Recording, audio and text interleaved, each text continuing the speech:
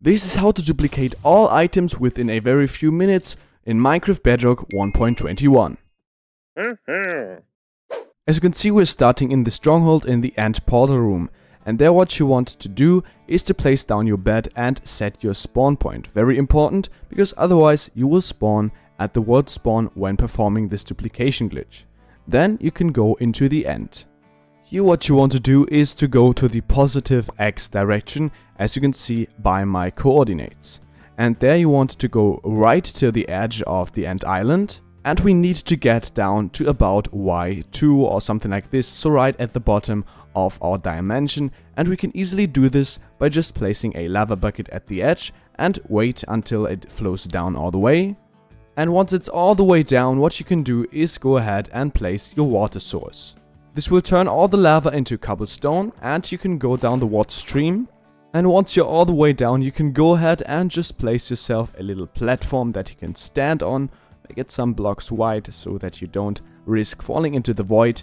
And then what you want to do is to extend out in the positive x direction. And you want to do this until you reach a coordinate that can be divided by 16, which is in this case 128. As you can see in the bottom corner of my screen, this actually is the block where I cross the chunk border. So 128 is already the new chunk, 127 is the old chunk. This is very important to know.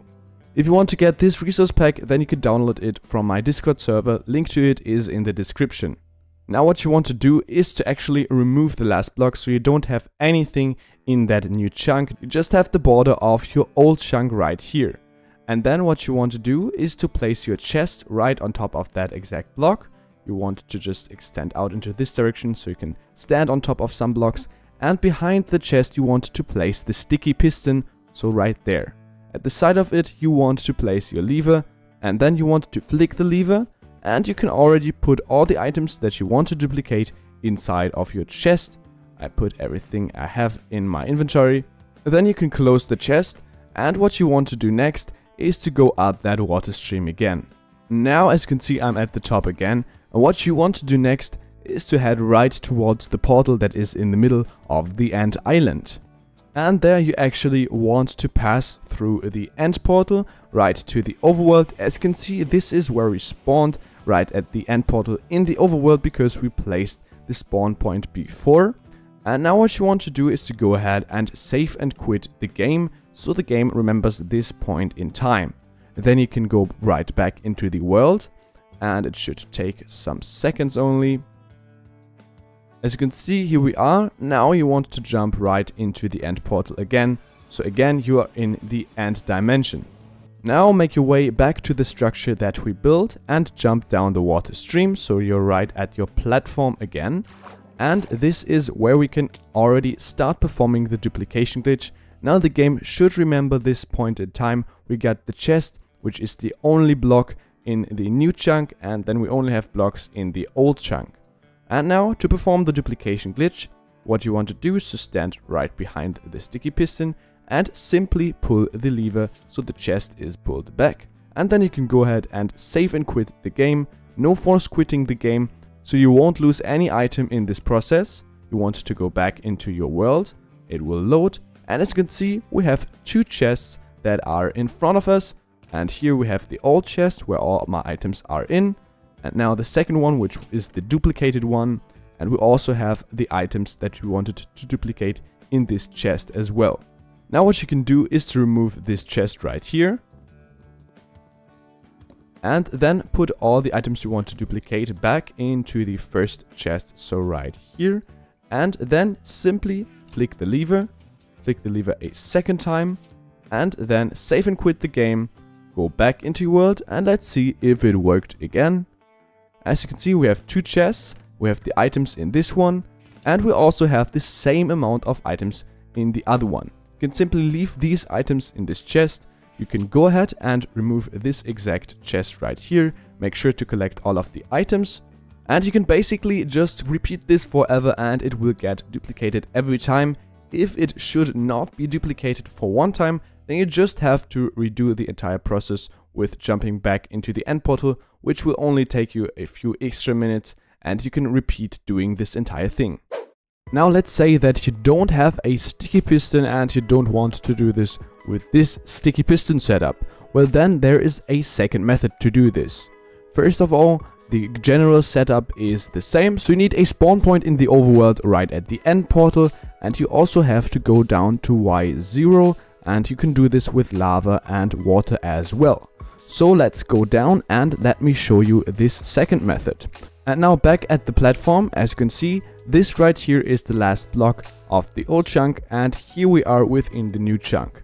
And actually now you can place yourself a small platform to stand on, something like this.